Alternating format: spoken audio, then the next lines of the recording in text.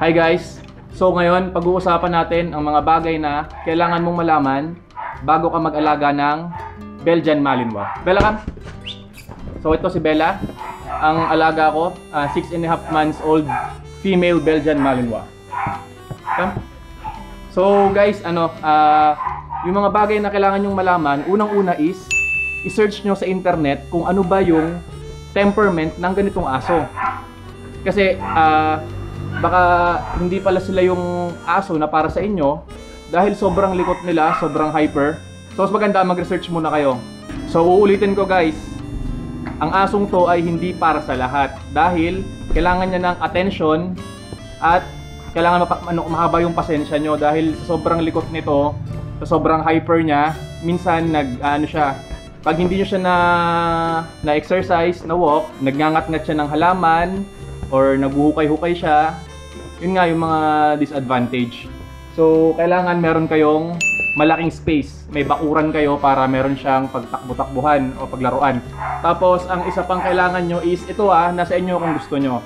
Kailangan nyo ng cage. Kasi ito, kapag nakawala sa bakuran, sobrang likot.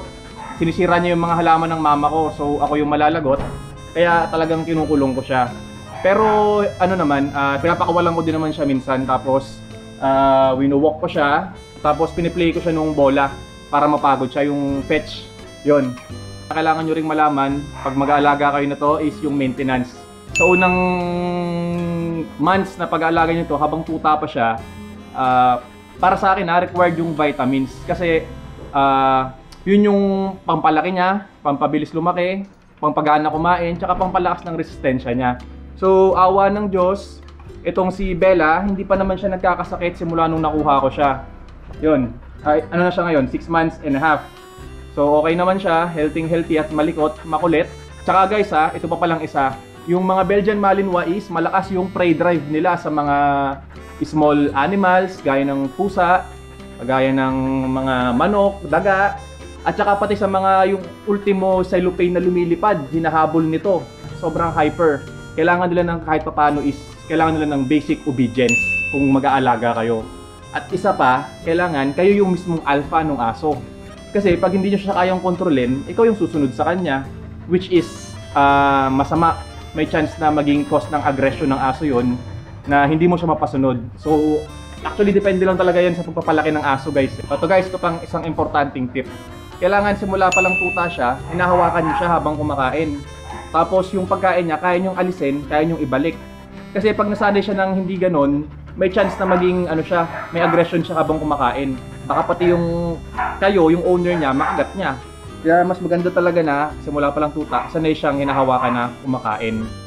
So ang kailangan nyo lang talaga guys sa pag-aalaga ng Belgian Malinois is uh, time, attention, tsaka syempre pera din. Kailangan nyo rin ng budget. Dahil ito, uh, ang maintenance nito ah, ngayon, As pag nung tuta siya, syempre kailangan ng mga vaccine, vitamins, dog food, ano pa ba? Yung yung iba kasi guys nagro-raw feed eh. Ako hindi ako nagro-raw feeding ng aso kasi may chance na pag pinakain ko siya ng raw chicken, baka atakihin niya yung mga manok-manok o kaya ano. Ayoko lang siya sanayin na ano na pinapakain ng raw feed which is hindi ko pa na-try pero pwede naman siguro, pwede naman kung gusto nyo. Yun lang, maintenance niya is medyo mabigat sa unang unang ano sa first year. Simula tuta hanggang mag 9 months siya, yan. Kailangan yung dog food guys, magandang klase ha, kasi kailangan niya ng protein para lumaki. So, i-prepare nyo rin yung sarili nyo na maingay siya. As in, may time na halos one week ko siya hindi na i-walk. Sobrang ingay niya. So, kung maliit yung pwesto nyo, tsaka malapit lang yung mga kapitbahay sa gilid nyo, so, baka mapabarangay kayo. so, hanggang dito na lang mga call around. Salamat kung na-appreciate nyo yung video ko. Uh, don't forget to hit subscribe and notification bell.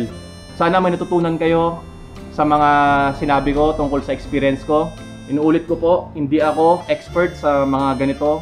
Gusto ko lang talagang i-share kung ano yung mga uh, experience ko about sa pag-aalaga ng breed na Belgian Malinois. So yun lang, hanggang dito na lang po.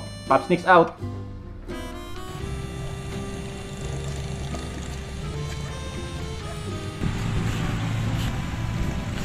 Bella, come.